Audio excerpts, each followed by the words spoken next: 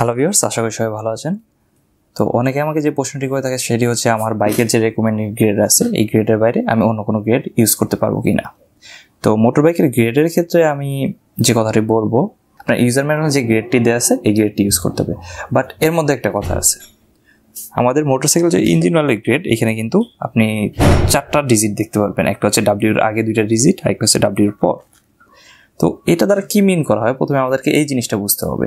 তাহলে আপনি নিজেই ব্রেক করতে পারবেন, নিজেই ক্র্যাক করতে পারবেন যে আপনার বাইকের জন্য আপনি কোন কোন গ্রেড ইউজ করতে পারবেন, কোন কোন গ্রেড ইউজ করতে পারবেন না। তো শুরুতেই আসি, আমরা ডাব্লিউর আগের যে দুইটা ডিজিট আছে, এটা নিয়ে। এটা হচ্ছে টোয়েন্টি ডাব্লিউ ফিফটি গ্রেড তো ডাব্লিউ দ্বারা বোঝা হয়েছে উইন্টারের যে টেম্পারেচারটা আমাদের দেশে সাধারণত উইন্টারের টেম্পারেচার টোয়েন্টি ডিগ্রি সেলসিয়াসের উপরে থাকে। কিছু কিছু ক্ষেত্রে দেখা যায় যে আঠারো, উনিশে চলে যায় বাট সেটা ফ্যাক্ট না। ডাব্লিউ দ্বারা যেহেতু উইন্টার মিন করা হয়, আপনি ডাব্লিউর আগে যে সংখ্যাটা দেখছেন, এটা হচ্ছে উইন্টারের টোয়েন্টি ডিগ্রি সেলসিয়াসে অর্থাৎ আপনার আশেপাশের আবহাওয়া ধরেন টোয়েন্টি ডিগ্রি সেলসিয়াস আছে, তো আপনার বাইকটি তখন স্টার্ট হবে, তখন এই ইঞ্জিন অয়েলটি কাজে লাগবে।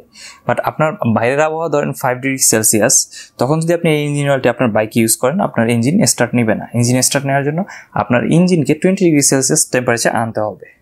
তো এই কারণে দেখা যায় যে আমাদের দেশে যে টেম্পারেচার আছে, এই দেশের টেম্পারেচার অনুযায়ী এই ধরনের গ্রেডগুলো বিশেষ করে ইন্ডিয়ান বাইক যেগুলো আছে, এগুলোতে আপনি দেখবেন টোয়েন্টি ডাব্লিউ ফিফটি বেশি ব্যবহার করা হয়। ডাব্লিউর পর যে জিনিসটা আছে, সেটা দ্বারা বোঝা হচ্ছে আপনার সামার যে টেম্পারেচারটা আসে তো আমাদের দেশে এবং ইন্ডিয়াতে দেখা যায় যে ফিফটি ডিগ্রি সেলসিয়াসের উপরে হয় না।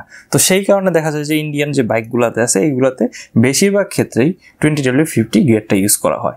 এবং কিছু কিছু যে জাপানিজ বাইক আছে আমাদের দেশে চলে, ওইগুলোতে আপনি দেখবেন যে ফোরটি গ্রেডটা ইউজ করা হয়। ফিফটিন ডাব্লিউ ফোরটি বা টেন ডাব্লিউ ফোরটি কারণ জাপানের ওই দিকে যে টেম্পারেচারটা থাকে, শীতকালে কিন্তু টেন ডিগ্রি সেলসিয়াস বা টেন ডিগ্রি সেলসিয়াসের নিচে থাকে। তো এই কারণে দেখবেন যে ওইখানে টেন ডাব্লিউ ফোরটি এটা ইউজ করা হয় বেশি। জাপানিজ বাইকগুলোর ক্ষেত্রে আপনি ওই জিনিসটা দেখতে পারবেন। কিন্তু ইন্ডিয়ান বাইকের ক্ষেত্রে আপনি এই জিনিসটা দেখতে পারবেন। এখন কথা হচ্ছে যে আমি কোন সংখ্যাটা চেঞ্জ করতে পারব এখানে? আপনি উইন্টারের টেম্পারেচারটা চেঞ্জ করতে পারবেন উইন্টার যে সংখ্যাটা আপনি চেঞ্জ করতে পারবেন, এটা আপনি লোয়ার দিকে যেতে পারবেন। যেমন ধরেন আমার বাইকের গ্রেড হচ্ছে টোয়েন্টি ডাব্লিউ ফিফটি আমার ইউজার ম্যানুয়াল যে গ্রেডটা দেওয়া আছে, সেটা হচ্ছে টোয়েন্টি ডাব্লিউ ফিফটি রেকমেন্ড করা আছে। তো আমি এইখানে যদি চাই, আমি টেন ডাব্লিউ ফিফটি ইউজ করতে পারব ফিফটিন ডাব্লিউ ফিফটি ইউজ করতে পারব।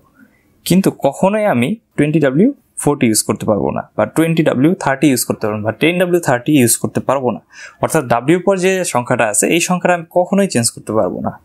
বা ডাব্লিউর আগে যে সংখ্যাটা আছে, সেটা আমি চেঞ্জ করতে পারব। আমি আপনাদেরকে একটা এক্সাম্পল দেখাই।